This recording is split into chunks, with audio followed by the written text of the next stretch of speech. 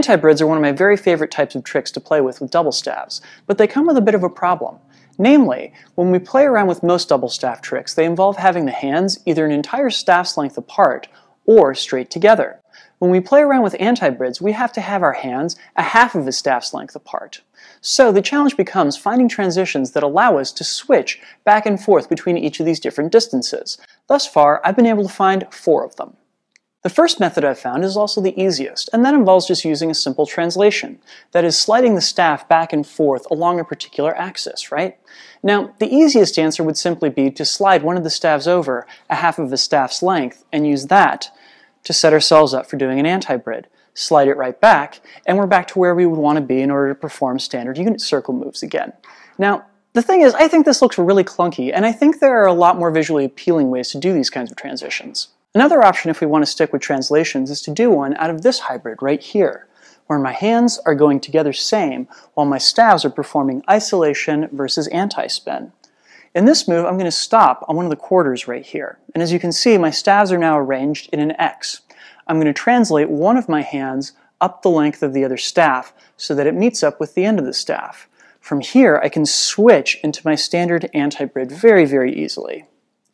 To get back out of it, I stop at exactly the same spot and I translate my hand back down to meet my other hand. Once again, I'm back in this X shape.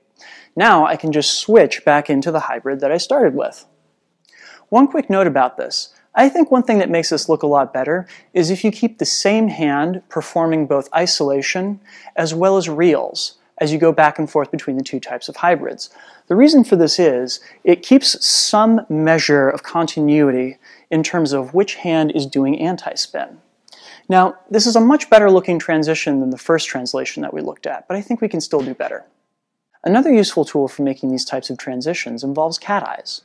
Cat eyes are a staff move in which one end of the staff moves back and forth along a straight line that is as long as the staff is itself. This results in the other end of the staff creating a long, wide ellipse. With this trick in our tool belt, performing a transition to anti-brids is just a simple matter of math. That is, if I perform a quarter of a cat eye, I've moved both ends of the staff essentially one half of a staff's length in either direction. If I perform one quarter of any unit circle move, be it isolation or anti-spin, I've moved an end of the staff one full staff's length, meaning it now has a staff's length between it and the end of the other staff. This works whether they start together or they start apart, and the result is a perfect lineup for an anti-brid. Our next option for transitions involves crossers. That is, these moves right here where we're performing shoulder reels with our arms crossed. Now, on either side of our body, we're working in a position that matches up perfectly with the unit circle. That is, we're working through a central axis of rotation that's essentially at our body's center. But something different happens halfway through that turn. Namely, because our hands are at each of our shoulders, we've now forced a distance between them. That, as it turns out, is exactly the same distance that we need for anti-brids. That is, it's a half of a staff's length, and a perfect opportunity for us to transition into them.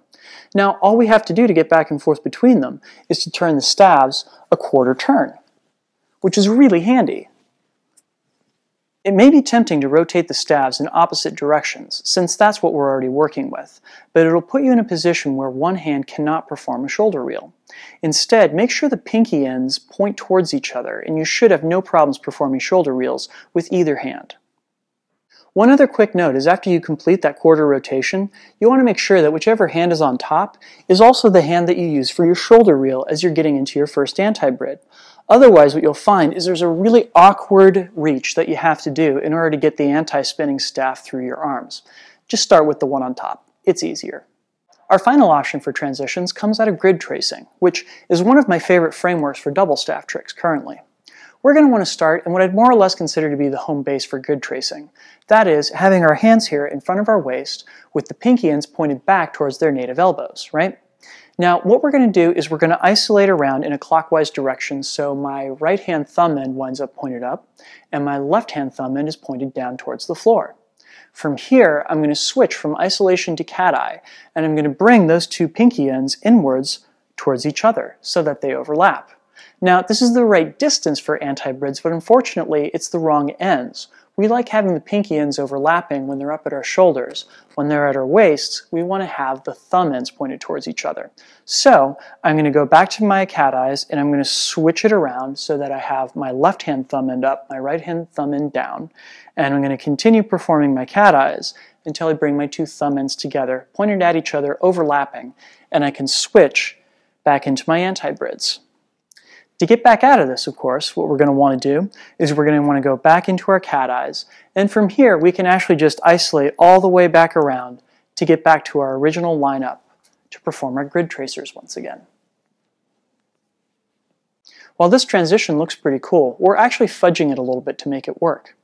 This is because if we take our math from where we learned about cat eyes, we'll discover that as these two cat eyes move towards each other, they only move a half of a staff's length towards each other.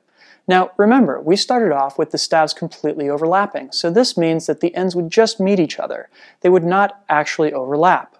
Thus, in order to make this work, we're essentially fudging about a quarter of the staff length in order to get them to overlap the way we want them to.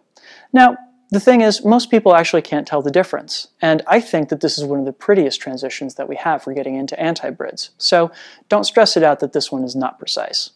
Do you have methods for getting into antibrids that I didn't cover in this video? Let me know in the comments. I'd love to do a follow-up video with even more transitions. Thank you guys so much for watching and enjoy the flow. Peace. This video right here was made thanks to the kind contributions of these folks right here. They found me at patreon.com slash drexfactorpoi and signed up to make a contribution every month. By doing so, they got access to a whole bunch of extra footage from the videos that I put out every month, plus which, a number of really awesome rewards. If you or anybody that you know has learned something from one of the videos that I've put out, please consider going to patreon.com slash drexfactorpoi and signing up to be a supporter. Thank you.